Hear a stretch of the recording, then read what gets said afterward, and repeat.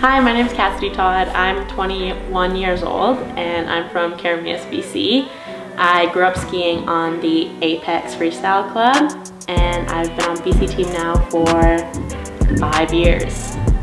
My favorite part about mogul skiing is getting to travel around and be with my friends. My goals for this season is to do as best as I can and have a good time.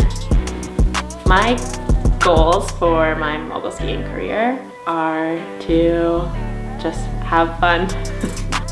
My favorite trick right now is a cork seven. Um, my favorite place that I've been for skiing is still Apex. My hero is Andy Naughty. I started skiing when I was two years old and I started freestyle skiing when I was seven. I got into freestyle skiing because of Kenny Kuroda and his junior competitive team.